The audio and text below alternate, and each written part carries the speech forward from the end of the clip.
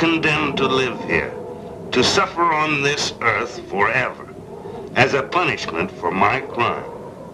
It is said that no greater outrage was ever committed by any mortal. but should I find a crime more terrible than mine, my punishment will end. Now you come with me.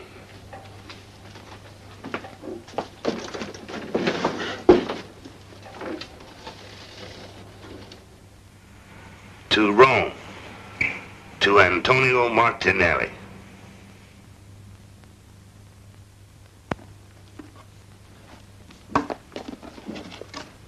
This studio hasn't brought luck to anybody ever. I'm glad you're getting out of here.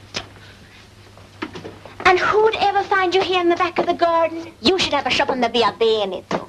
Shop on the Via Veneto? I can't even pay the few lira for this place. Told me I should bring you to church, and then he'll help drive out the devil which prevents you from having good luck. Who really believes in this kind of witchcraft? Well, Father Valerio's proven he can drive out bad luck. Do you remember Flavio? Everything went wrong with him until he went to church and Father Valerio got rid of the demons.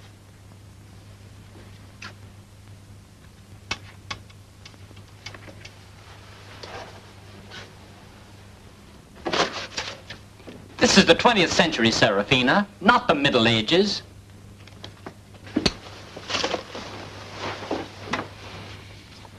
Times don't change.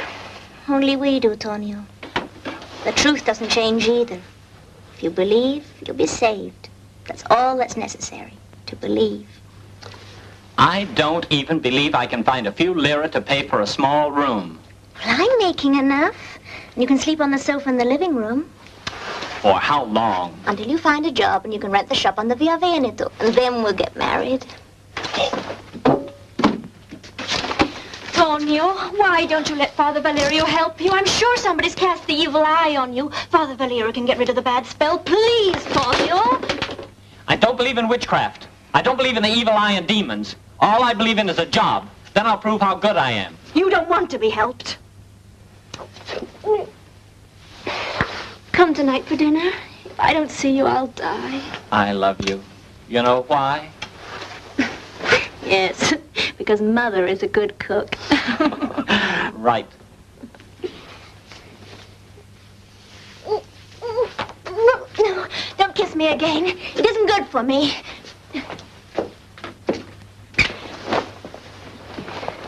Why not? Well, it, it heats me up too much.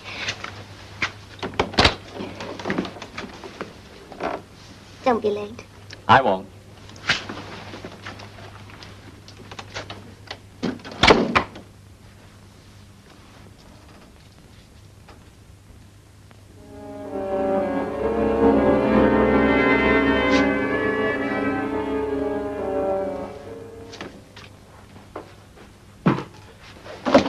Come in. The door's open.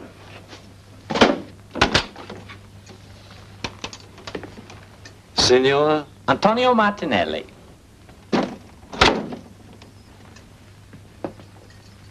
I was looking for an architect. A man who could also furnish a house for me.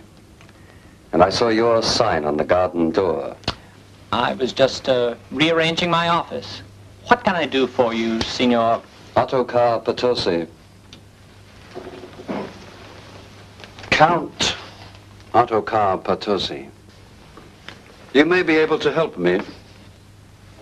I have a request which might be in your line. I did those designs for an ultra-modern house. I always say an architect doesn't need to live in the house he's building. It isn't about building a house. It isn't about architecture at all. No. I want you to find certain objects. You must know every antique dealer in Rome. I know some. This room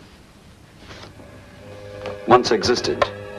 Its furniture has been sold, dispersed, disappeared. I want you to find it. Especially the mirror. I'm glad you didn't ask me to find a lady. A woman of such beauty is rare. I'll try to find you the furniture, sir. And the mirror, Signor Martinelli. I don't care so much about the chairs and tables. It is the mirror. Of course, that will be difficult and time-consuming and costly. Don't worry about the expense. You will be well paid for your time and effort. You may use freely the money you find in that envelope. But I must have the mirror. I'll do my best.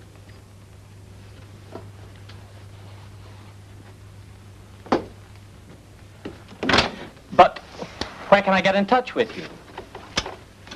I shall be back when you have found the mirror.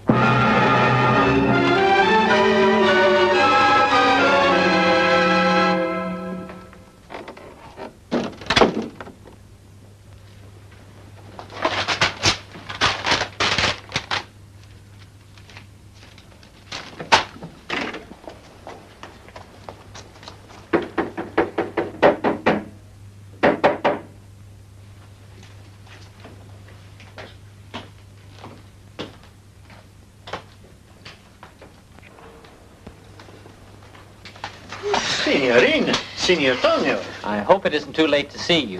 you're speaking to a man who cannot sleep. Come in, come in. What can I do for you? Oh, show me an overstuffed couch made of down and very, very comfortable. A couch. Yes, to lie on.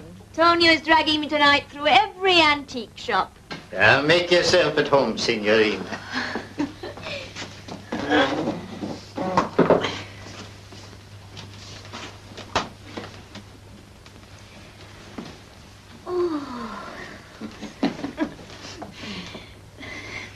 May I offer you a glass of wine? Anything, anything, as long as I don't need to get up.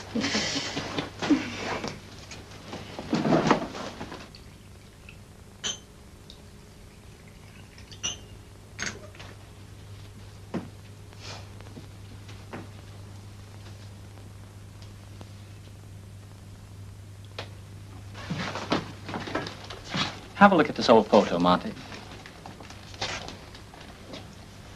A room? I must find the furniture on this photo, especially the mirror. A Strozzi chair, a refectory table, Florentine candle holder, 16th century. Those I have. The Venetian mirror. I need the mirror. Yes, Venetian.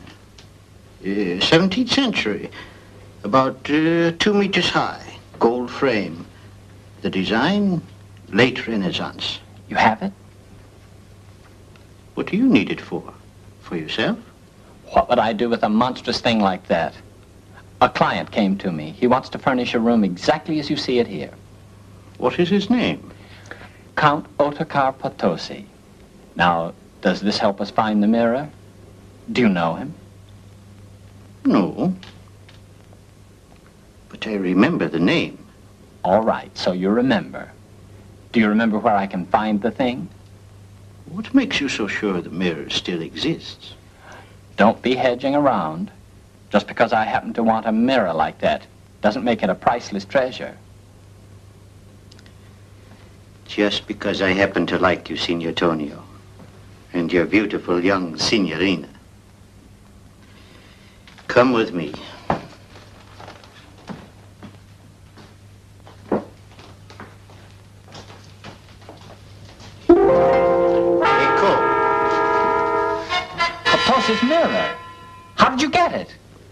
I've been in your shop dozens of times. I never saw it. You never looked for it, Signor Tonio. I can't believe it. You should have come to me in the first place before you shopped around. I once bought many pieces from Count Potosi's home. This was one of them. I can't get that tarnish off. Look, it must have been standing in the rain. The man wanted a mirror. He didn't say it had to be clean. Let me drink to the mirror. We see time's furrow on another's brow, and death entrenched preparing his assault. How few themselves in just that mirror see. Hello? Oh, Count Potosi. May I congratulate you, sir? I found the mirror. Oh, I bought it. It's here in my studio. Why don't you come over? Soon? Well, anytime, anytime. Thank you, Count Potosi. That was Count Potosi. Oh, I'd like to meet him. Is he rich? You should have asked him to bring a few bottles of Asti. He'll be here any moment. Let's clean up. I'm very curious as to what he looks like. You'll meet him later. Why are you so excited? What's all the mystery about? Do me a favor and get out, will you, and quickly?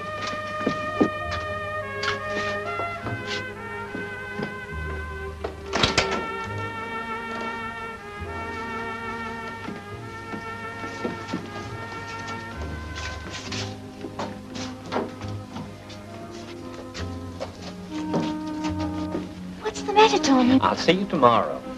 You don't love me. Please, no argument. Not now. I don't know if I have time for you tomorrow. Please, no scene tonight. Come on, Serafina. Good night.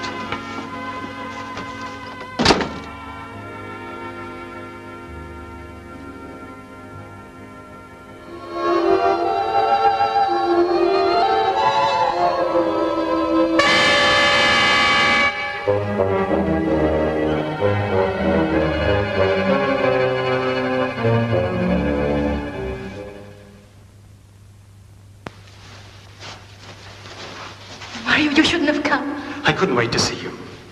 What do you want me to do? Spend my life waiting for you? I can't live without you, Elena. If he ever finds out. You needn't worry about him. Come with me, just as you are. Leave everything behind. No, Mario, I can't. But you're in love with me.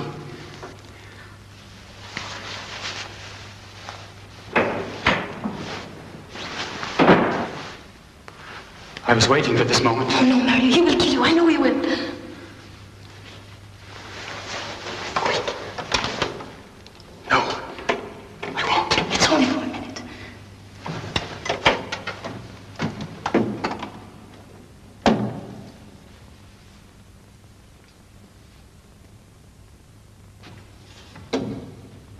Elena,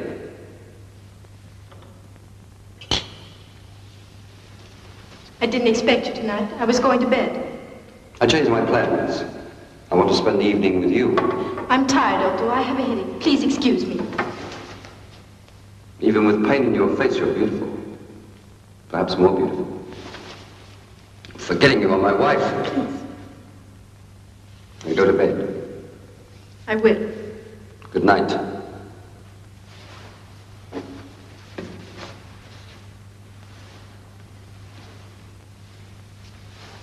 Why don't you come with me? You have a headache. You need rest.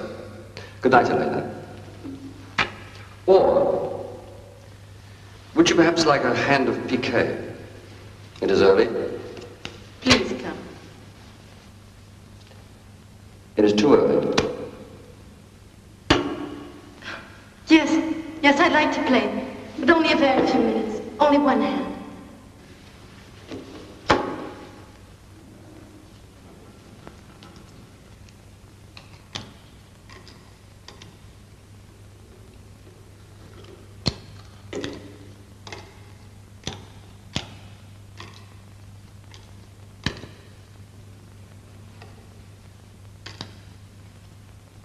Why are you so nervous, my love? You are pale and trembling. I don't feel like playing.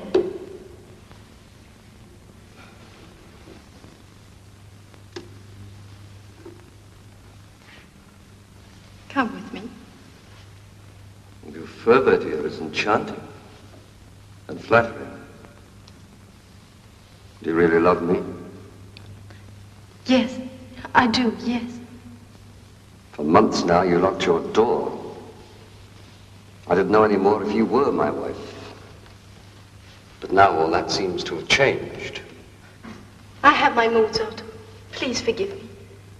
And now your mood is to love me. It isn't a mood. I'm your wife. You know, I'm a jealous man. My jealousy knows no limits.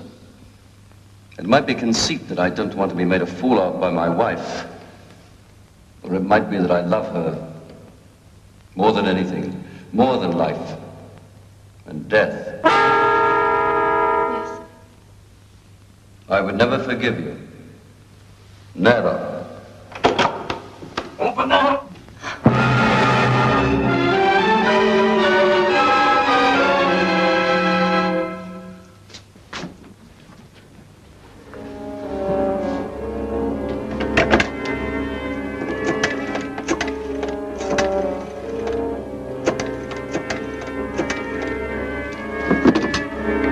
Hello? Hello, Serafina? Tonio. Yes, it's me. Serafina. Tonio, are, are you all right? Yes, yes, but... But Tamira, What, what is it? it's alive. What did you say? You told me about that priest who can drive out the devil. Yes, but, but I, I didn't mean it. You were right. I need him. Oh, I know you do. No, no, not for me, but I need him for For what? for the mirror. I need him for the mirror. Bring him right over. Right over.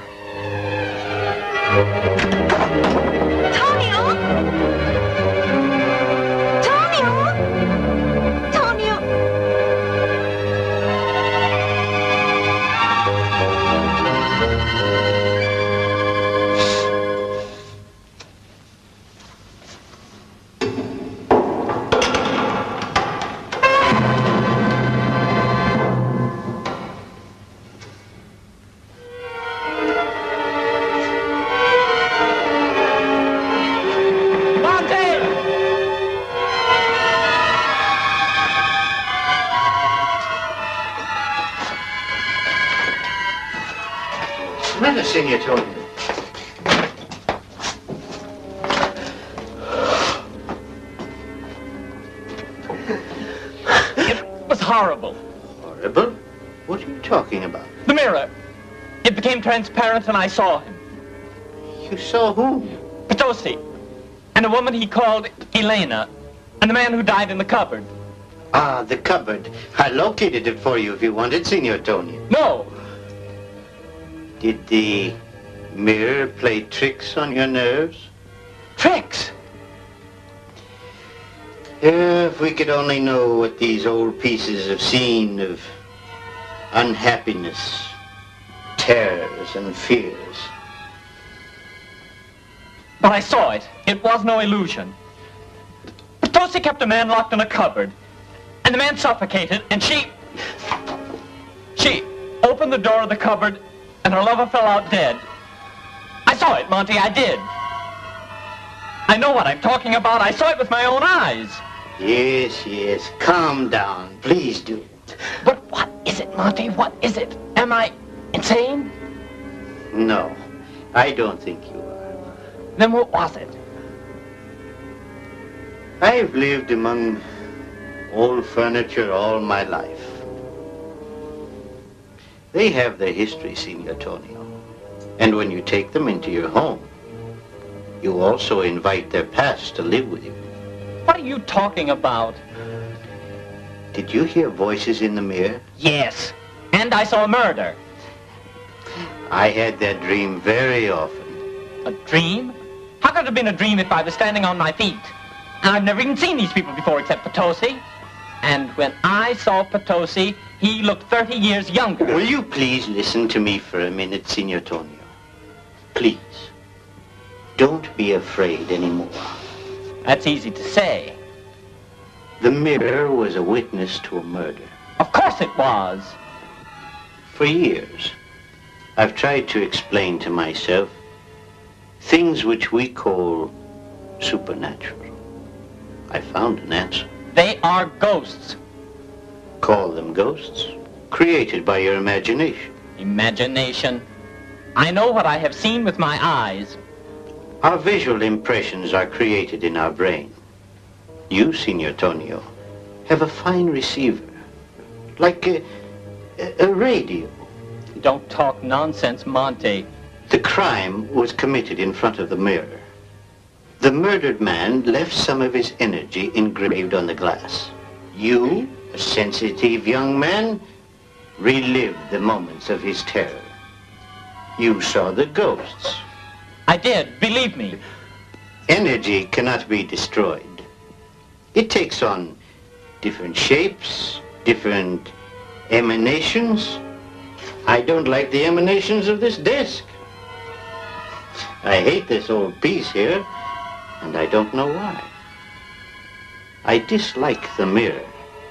I knew that there was something evil dwelling in it, though only you, sensitive, suggestive, transformed its evil em- emanations into sound and vision.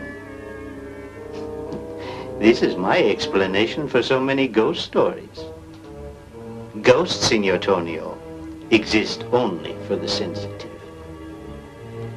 You can't be hurt by them if you don't allow terror and fear to hurt you. You were alive. The antics of the dead cannot harm you. Thank you, Monty. Dismiss the evil ghosts from your mind. And if they should come again to haunt you, remember that they're only spirits that dwell in your brain. Evil spirits. Don't permit them to harm you. I won't. Good night. Thank you, Monty.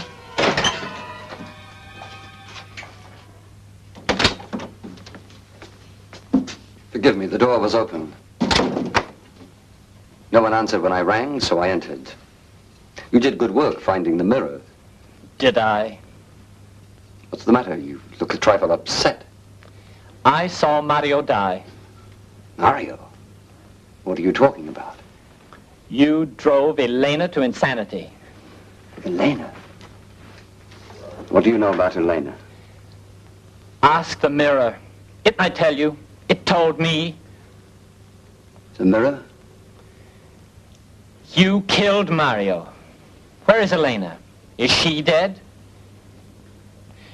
You want this mirror, the only witness to your crime. I'm an old man. Why should I lie to you? Your crime is still haunting you. Yes, it is haunting me. I've been punished by my memory for years. I want to find peace. I will find peace. I needed this. The mirror. The witness I must destroy.